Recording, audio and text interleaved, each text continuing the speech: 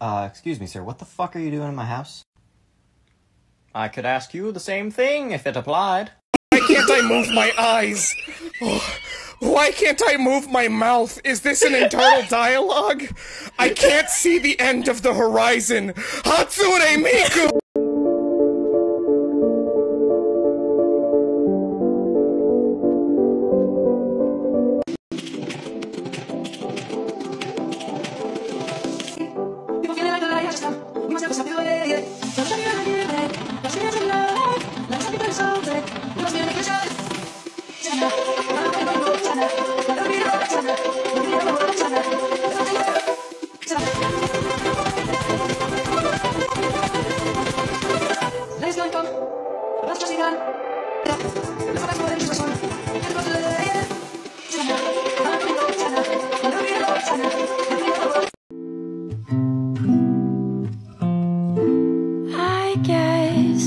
Have to face that in this awful place I shouldn't show a trace of doubt.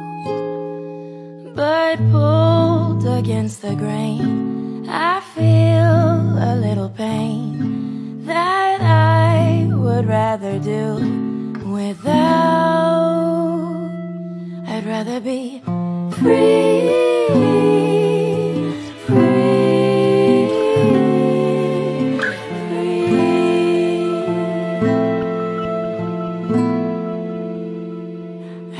be free, free, free.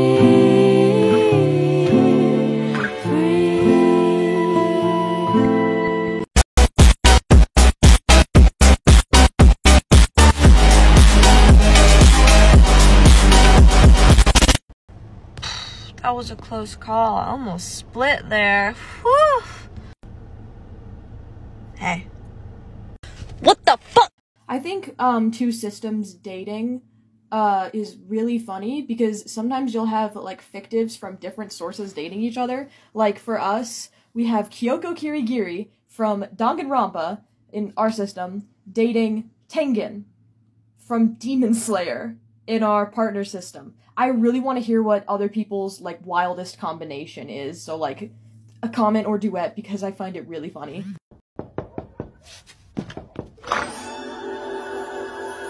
Hi, Dan. I just moved in next door. I'm a supermodel. I don't care who the IRS sends, I am not paying taxes. What? This is a moment in history! Take a picture!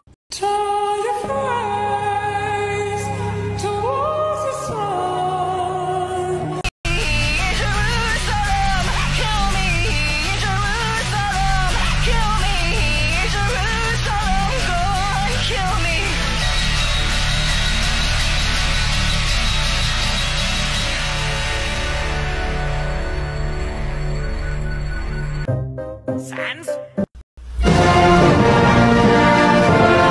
Get up, cocksuckers, it's all over. Listen, we had a.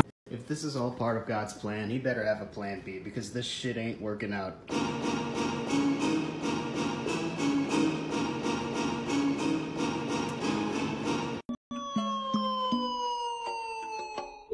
Hello, everyone. How are you? Fine, thank you. ¡Conche tu madre! ¡Mamá huevo! Yeah!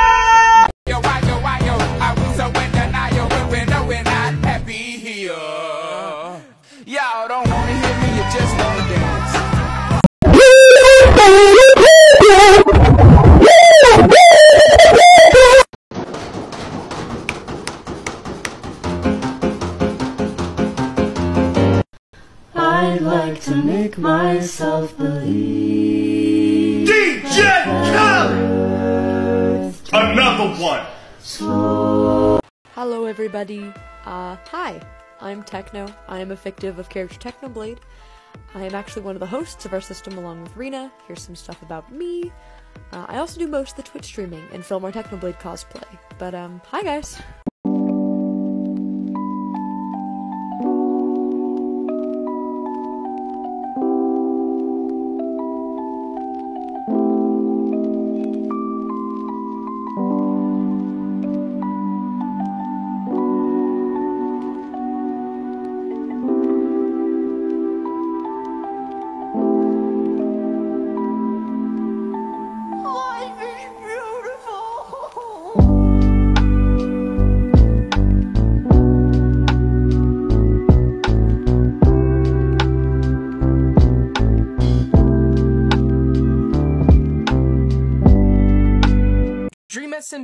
South Park, Hazbin Hotel, Miss Kobayashi's Dragon Maid. All these things have something in common. They are considered problematic. Whether it be material within, the story, or the people who worked on it, these have all been labeled problematic in nearly every system Discord I have seen. So, why do people split fictives from problematic sources? Well, let's start with why a source may be considered problematic. A source may be considered problematic due to the contents. A good example of this, and I'm sorry to those I'm about to jump scare, is Hetalia.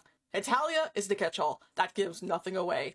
But here's where you'll start to realize how it's problematic. Hetalia's first manga series and first two seasons of the anime are called Hetalia Axis Powers. Like Germany, Italy, and Japan's little club they formed back in 1940. And that's exactly what happens in the show, though incredibly watered down because they just wanted to seem like they're really good friends. Besides that, there's just a bunch of stereotypes of different nationalities thrown into each character, which many find offensive. South Park is obvious. It's littered with controversy and has been since it came out. Hazbin Hotel itself is labeled problematic mostly because of its creator, Pop, and whatever the f- that spider thing has going on. Though this still leaves the answer of why do systems split from these sources unanswered. Well, it, it's quite simple. Systems split what their brain deems necessary and fit for their survival. And yes, sometimes that ends up being fictives from problematic sources. Systems cannot force splits. Sometimes a character could be associated with someone's abuser, and due to the trauma that person had inflicted, it can cause the split of said character as a fictive. It's very important to note, like all fictives, problematic sourced fictives are not their source. They should be treated like any other alter. They have their own likes, dislikes, and aspirations. So if a problematic sourced fictive turns out to be abusive or harmful, that's their own fault, not the fault of their source. They're just a bad person.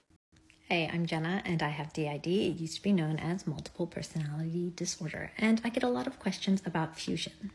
Fusion is the coming together of two different alters to create a new alter. Um, and for some people, it is the, the goal of therapy to have all the alters come together. Um, our goal is health, whatever that looks like. We, we are just pursuing the health of all parts, whether we end up fused or not. However, uh, we have had some alters fuse uh, spontaneously. And the best way I can describe what fusion is is with a puzzle. If you're putting together a puzzle, you may have a piece that has a cat on it and a piece that has a dog on it. These are very different puzzle pieces. They don't look alike, but when you put them together, they create a whole nother picture. You now have a cat and a dog snuggling on a rug, and this is not what it used to be. It contains all of the components of the two pieces individually, but they now look different. They now have a different shape and create a different image. And that is what it's like when two alters fuse. To get ahead of questions, yes, it can be difficult. I do miss their individuality. All the traits and components of them are still there, but not having them there individually feels like a little bit of a loss. And there can be benefits to fusing. Um, and sometimes alters choose that, or sometimes it happens spontaneously, but we don't force it on anyone in our system try to make this as digestible as I possibly can in as short a period of time as I possibly can. So, integration is essentially where the amnesic walls between parts lower enough where different parts can communicate with each other. And you can kind of try to find a little bit more of a flow. You'll be able to feel switches coming on a little bit more. You'll be able to tell when the other person's kind of approaching a little bit more. And you can leave notes for each other a little easier. If you're somebody who didn't have a ton of internal communication, that will peak up. For us, uh, internal communication is always very, very high. We can always hear each other, we just can't always necessarily communicate in the way that we want to. And what I mean by amnesic barriers specifically is when people say DID, dissociative identity disorder, what they're not explaining is that in between each and every one of those parts is an amnesic wall. We won't remember what the other person was doing. We won't remember what the other person was saying. We won't remember if they ate anything. Those are things that through a lot of internalized work or a lot of therapy, some people it's a lot of time, you can slowly break those down or pull them down over time. When that happens, you integrate into the system. Let me know if that made sense. I want to learn how to write. I also want to learn how to draw so that that way I can make like comics and animations for YouTube and stuff. I think that would just be like a really cool thing to do. That's cool and all. Uh, but I want us to learn martial arts because I worry about our current lack of exercise and self-defense skills. I mean, look at these noodle arms. Okay, but I think it would be really cool if we learned how to sew. So that way we can do cosplay and then maybe we could even like learn how to make armor and jewelry and then and then like at some point our entire closet could just be stuff that we made. You know, I've only been here for for like 2 days so far, but I think we should learn sword fighting. So why aren't you doing it? もうちょっとキスをしたのにまだだよね。初めての相手はジョジョではない。